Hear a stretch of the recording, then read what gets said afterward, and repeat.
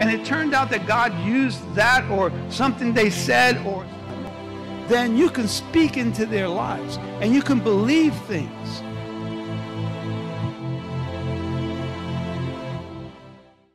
Father, thank you, Lord, for this opportunity that you give us to give back just a portion of what you've blessed us with, Lord God. Father, you've blessed us so much, oh Lord God. Father, you've blessed us so much. And God, we just give back, oh Lord God, just, Lord Jesus, a part of it, Lord God, to acknowledge you, to acknowledge your grace, to acknowledge your provision, to acknowledge that everything comes from you, Lord God. We pray that you would bless and multiply, God, this offering. And God also, Lord Jesus, uh, for those that are in need, oh God, Lord, you're more than enough, oh Lord God. I pray that you would supply for every need that's represented here and those that are watching at home because you are faithful, Lord. And Father, we ask all of this in Jesus' name. Amen. Ushers, you may come and collect our tithes and offerings. Amen. You know, we've been reading in the book of Genesis the story of Joseph, and uh, as I was praying, the Lord dropped a word in my heart about the reason everything happened in Joseph's life from a very young man over a process of uh, a good number of years. And I was thinking about, you know, things as I've learned, and my wife and I, as many of you know, are new grandparents. We uh, have little Gabriel in our lives now, and we get to watch him sometimes. And when the when Timmy and Faith are in the young adults, we get them that evening to watch him all night. And this uh, the most important thing that we need to know when they give us Gabriel. There's one thing that they can't leave us without and that's the bottles. We got to make sure that there's enough bottles. He drinks his mother's milk, and uh, so it's not like we can go out and get Similac or something like that. So we say, Do we have enough bottles?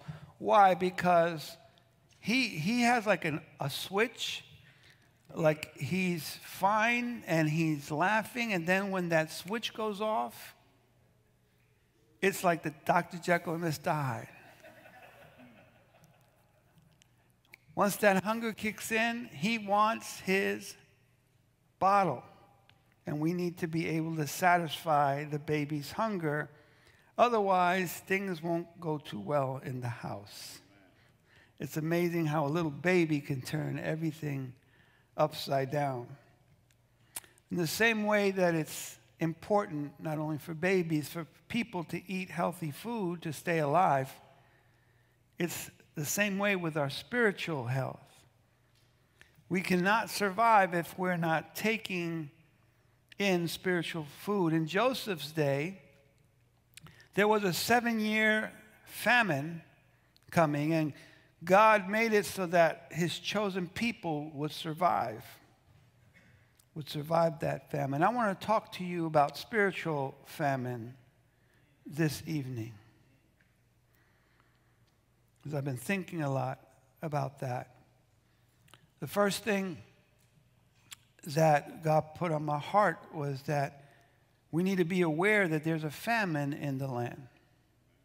We need to be aware that there's a famine in the land. A spiritual famine has not only come to this country, and I don't know if you've noticed it or not, We've gotten so far away from God that we're purposely pushing Him out. Uh, I heard somebody in Congress during a hearing say the Congress is not concerned about God's will. It's not their concern. But it's not only this country, but also Christians in this country who are experiencing a spiritual famine. Uh, prayer meetings like this are not the usual or not the norm. A lot of churches don't have a prayer meeting, and you know why they don't have one?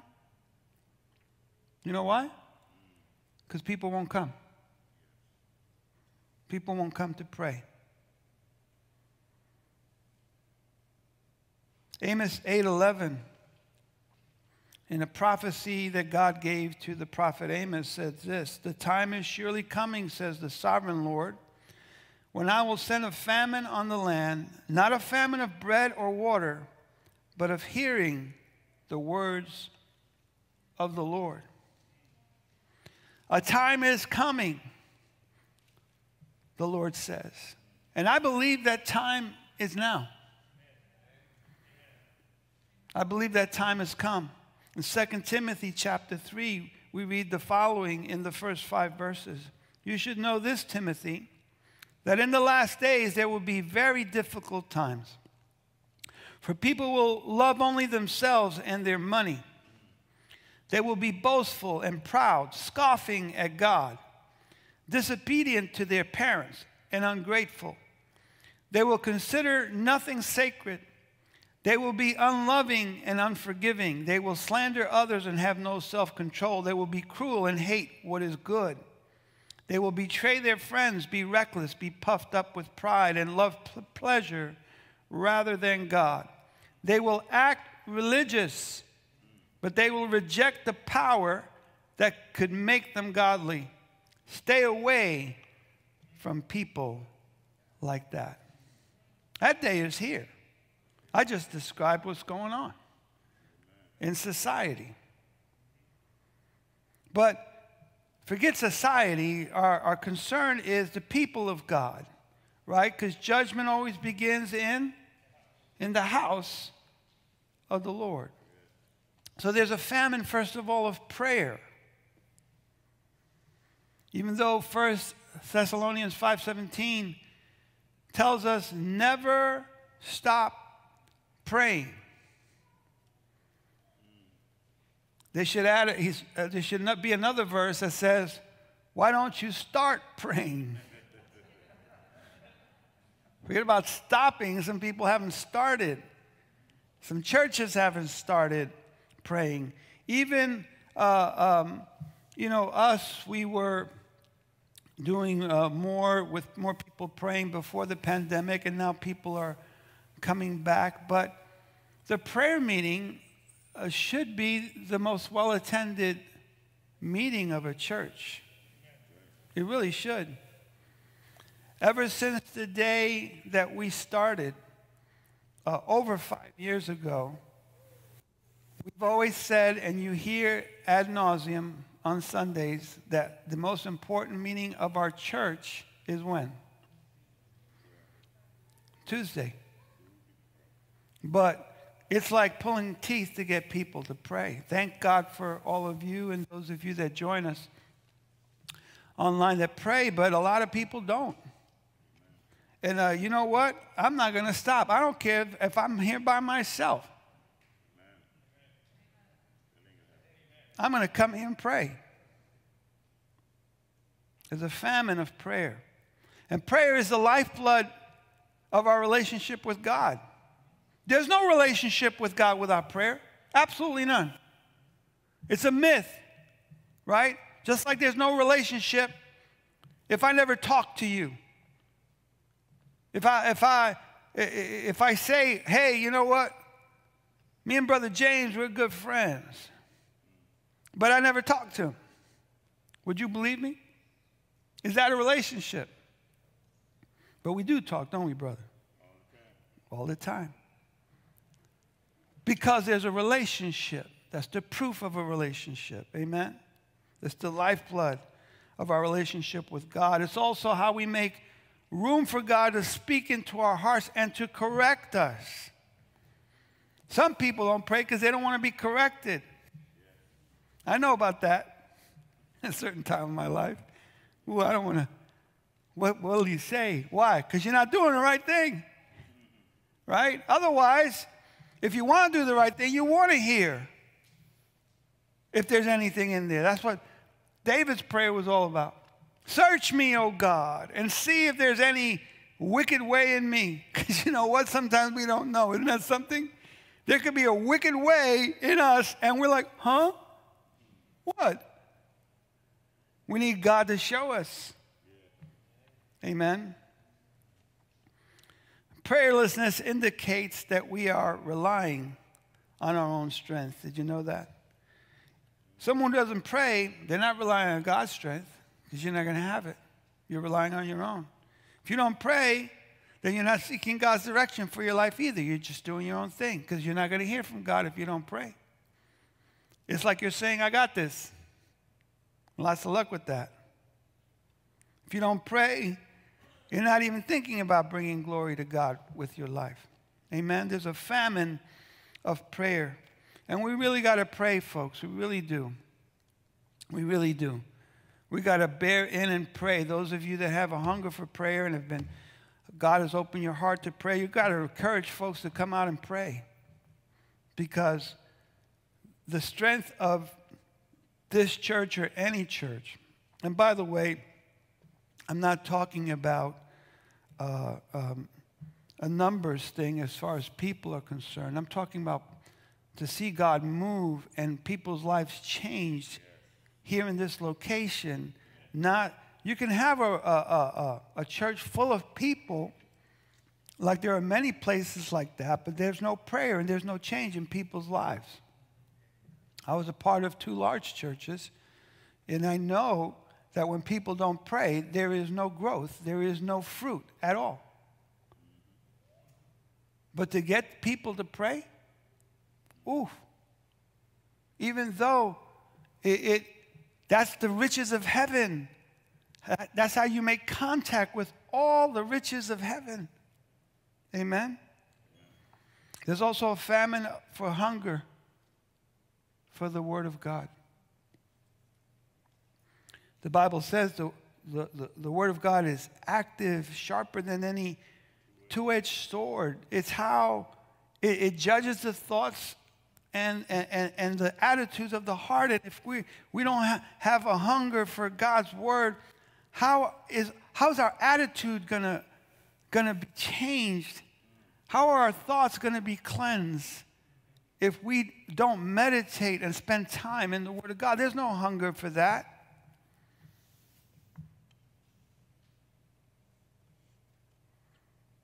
You know, people should be running to the Bible studies to study the Word of God. That's a joy.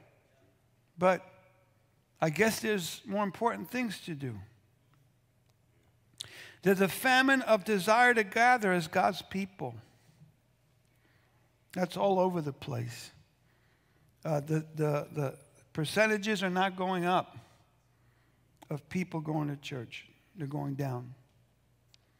And I think uh, the pandemic just hastened a lot of the people that were loosey goosey with it anyway.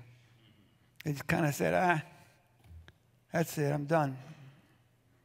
To the tune of, uh, what is it?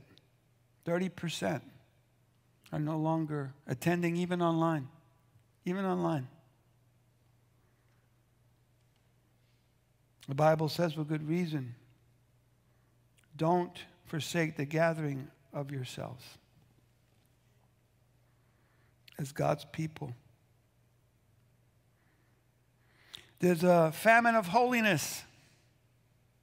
That's a thing of the past, that's old fashioned. But a little problem for everybody is not worried about that. Hebrews chapter 12 says, without holiness, no one will see the Lord. Without holiness, no one will see the Lord. But holiness is old fashioned. What's in now is hey, you know what? God is good. Uh, you know, He's loving. He doesn't want me not to have fun. And I'm a sinner anyway. He understands that. So just live life the way you want. And at the end, you know, I'll go to heaven. But that doesn't jive with God's word. And I have to tell the truth that without holiness, no one will see God. There's a famine of holiness. There's also a famine of belief. I remember Jesus saying that he wouldn't do or couldn't do many miracles in his hometown because of tremendous unbelief. He was amazed at it. He was, I can't believe how people don't believe. He was amazed, the Bible says in Mark chapter 6. So we have to be aware that's a famine in the land. Why do we have to be aware? You know, when Joseph, uh, uh, I should say Jacob, Jacob the patriarch, Abraham, Isaac, and Jacob, uh, Abraham's grandson, when he saw that there was a famine in the land, he became aware of it. And because he became aware of it, he was able to start to do something about it. What did he do? He sent his sons to where there was food. He sent them to get food so that they wouldn't die. But if he wouldn't have been aware of it, if he would have said, ah, this will pass, we'll wait this out, there would have been no people of God. So you have, if you're not aware that there's a famine, you won't do anything. You'll just stay right where you are doing nothing. And you won't get proactive about doing something about a famine. So what do you do when there's a famine? What do you do as a follower of Christ? You buy food at no cost during the famine. I love the fact that when the brothers went back to uh, uh, Egypt and they met up with Joseph, they didn't knew, know it was Joseph because it had been 13 years. They didn't recognize him. He was now a grown man, not a 17 year old. And they had money to purchase the food. And when they went back with the grain and they opened up their sacks, their money was there in the sack. They got a little scared. He said, Oh no, they're going to think we stole the food, but the money had been put back. And the second time it happened the same way. They were buying grain without money. And that's a type of what we read in Isaiah chapter 55, verses 1 to 3. It says, Is anyone thirsty? Come and drink, even if you have no money. Come take your choice of wine or milk. It's all free. Why spend your money on food that does not give you strength? Why pay for food that does you no good? Listen to me, and you will eat what is good. You will enjoy the finest food. Come to me with your ears wide open. Listen, and you will find life. The Lord is not talking about physical food here. You know that, right? He's calling his people to come and get nourished with the only thing that can nourish your spirit and your soul, with the things of God. Amen? Because we do spend emotional and the wrong kind of spirit money on things looking to be satisfied in this world where nothing satisfies. Nothing at all. You can try it all. What did you ever get that you didn't get tired of after just a short while? What did you ever handle or acquire that satisfied deep inside your heart? What? Solomon tried it. Read Ecclesiastes again if you haven't read it in a while. What didn't he have? Not what did he have, what didn't he have? What didn't he try? You name it, even with relationships. Try a thousand. I would have loved to have been his marriage counselor. I would have stayed busy just with one client. And he says it was all like chasing after the wind. You can't catch it. You never can catch it because you're buying the wrong kind of food. Jesus backing that up, declaring who he was in John 6:35 says, Then Jesus declared, I am the bread of life. Whoever comes to me will never go hungry, and whoever believes in me will never be thirsty. So, how do you do that? How do you buy food? Be sober and alert. Don't fall asleep. Be awake. See what's going on. And be prayerful. Be prayerful. Be prayerful. Get people to come and pray with us on Tuesday night, but pray at home as well. Both are important. You can't just pray here and then not pray in your private life. And it's not good just to pray and be your own lone ranger and, and not come and gather and pray with God's people. They're both necessary. Study and meditate God's word. We give you a big help with that with the Bible studies. We, we have a wonderful time discovering God's word. And then stay consistently connected with other Christians. That's called church. You know, I don't know if this is so important that you need to know. You cannot, listen, I'm going to make a very, very strong statement here. You cannot stay grounded or you cannot ground yourself by yourself. As a Christian, you cannot be grounded unless you are in a family. Right? Everybody here comes from a family. In other words, when, when and Timmy and Faith had Gabriel, they didn't just put him outside and say, okay, hope you make it. Goodbye. Right? He was meant to be in a family, to be nurtured and to grow and, and, and to be a family together and to go through things together. Some people don't realize the importance of the church. I'm talking about the church of Jesus Christ, not just its local church. Any church that preaches Jesus Christ as Lord and Savior and the gospel according to the Bible. That's the church of the living God. Amen? But you cannot be grounded unless you are part of a local body. People who don't know that, listen, the letters, who are they to in Scripture? Who are the letters to? To the churches. Jesus said, Love your wife like Christ loved what? The church. Not an organization, not uh, some para church thing, the church. In Revelation, where's Jesus going back forth in, in the lampstand? Where? To the church. Church is important. I'm not talking about church like we know it. Oh, Sunday's church. No, I'm talking about the family. That we are a family. We're not just, this building is not the church, we're the church.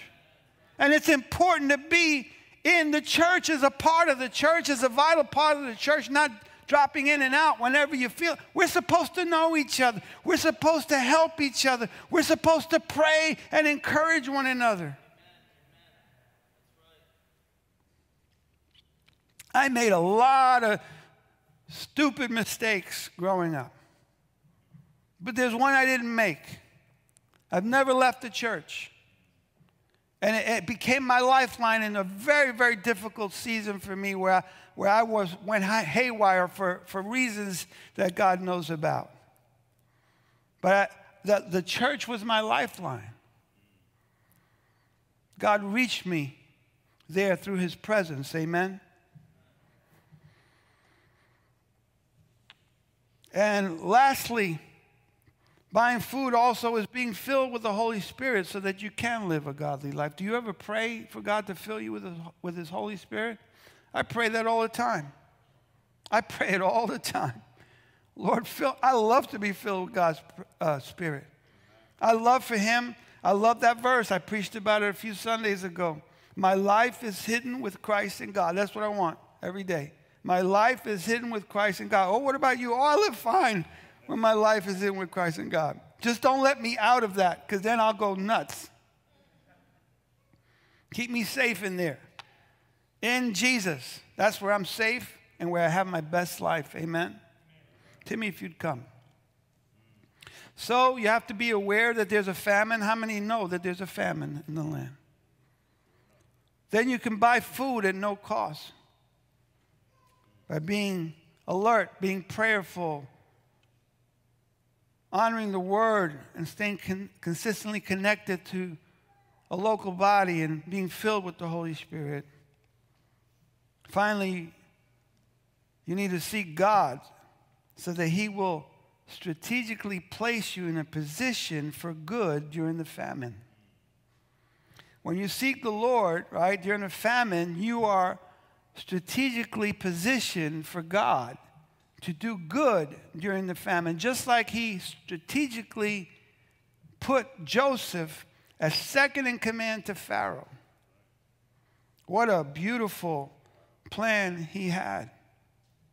In Genesis 45, 6 and 7, here's what Joseph said For two years now there has been famine in the land, and for the next five years there will be no plowing and reaping. But God has sent me ahead of you to preserve for you a remnant on the earth and to save your lives by a great deliverance.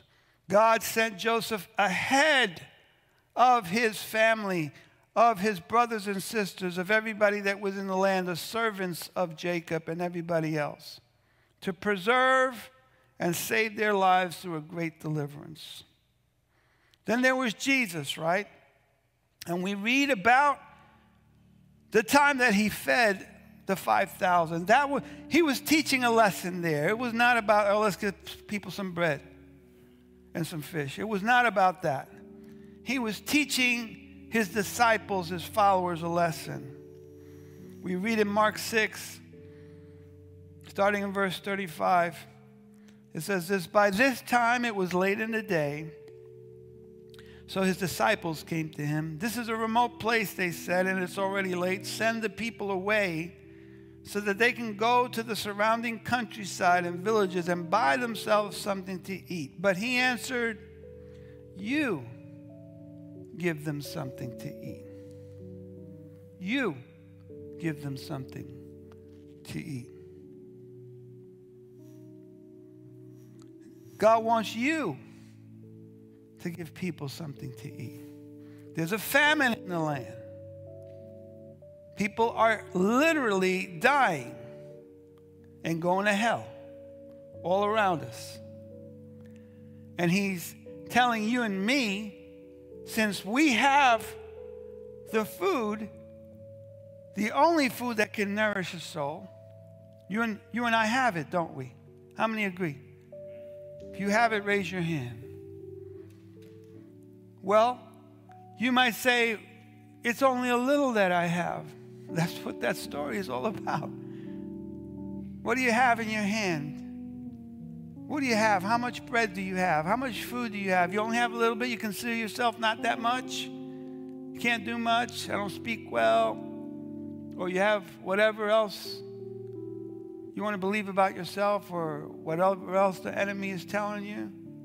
All you got to do is place what you have in the hands of Jesus and you can feed as many as there are. That's the way it is. This is important. Remember Peter, who was there when Jesus fed the 5,000. And we know that he denied Jesus three times. He was following him from a distance, felt horrible, ran away when Jesus looked at him when they had arrested Jesus. Then I guess feeling sorry for himself and thinking, I'll go back to fishing. They went fishing, he went fishing, and Jesus appeared on the shore. You remember the story. And that's when Jesus restored him. But it's interesting what he said to him. In John chapter 21, verse 15, we read this. When they had finished eating, Jesus said to Simon Peter, Simon, son of John, do you love me more than these? Yes, Lord, he said. You know that I love you. And Jesus said, Feed my lambs. That, that wasn't a call to a preacher. He was a disciple. We know that he went on to become an apostle. We know that. But when he told him that, he was a disciple. And he was telling Peter, If you love me, you will feed my lambs. God has positioned you somewhere. Wherever you are, you're a son or a daughter of God with the treasure of the gospel in your possession with an inheritance that can't spoil, fade, or wrinkle. You have the keys of life because Jesus gave them to you. We have eternal life. So he's not waiting for me to tell everybody as a pastor, he's waiting for you. He's positioned you. There are places that you are, are and are going where I could never or I will never go. I don't even know. You know how important what God has given each one of us is.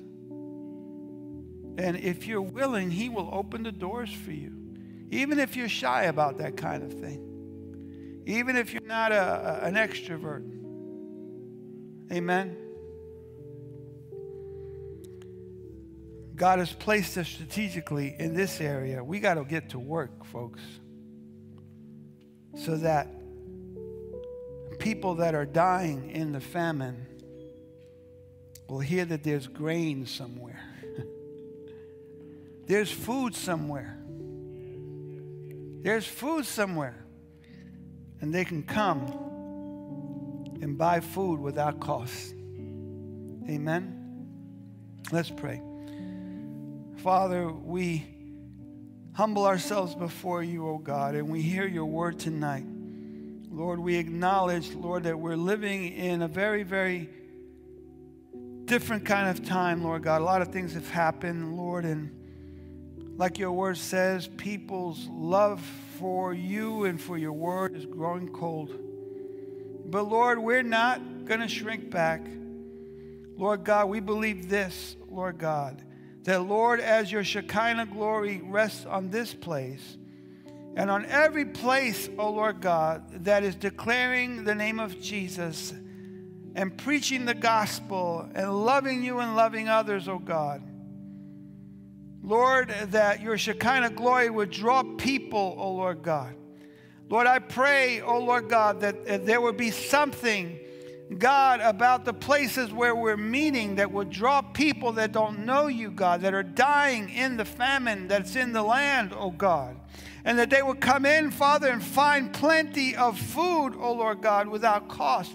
And that, Lord, those that are not coming to the building will be reached by those that have come here, oh Lord God, and in other churches, oh God, that preach the gospel. That it would be us, your people, oh Lord God drawing people and bidding them to come and eat, oh Lord God, without cost, Lord Jesus. Father, we need you. We need you, Lord. We need you, Lord God. God, wake us up, oh Lord God, to the strategic place where you've placed us, where we can do a lot of good, Lord God, according to the kingdom of God. Lord, wake us up. Stir up the gifts within us, Lord Jesus so that, Father, we can be the salt of the earth and the light of the world, just like your word says that we are. Father, we ask this in Jesus' name. Hallelujah. Can we gather together in groups of three or four and just pray for one another? Ask God to help us. Ask God to help us to be that, to be hope in a famine, to be uh, to point to Jesus in the famine, to point and people to the one who is the bread of life. That God will wake us up, that we won't fall asleep. Let's pray and encourage one another for a few moments and pray together. Let's do that right now.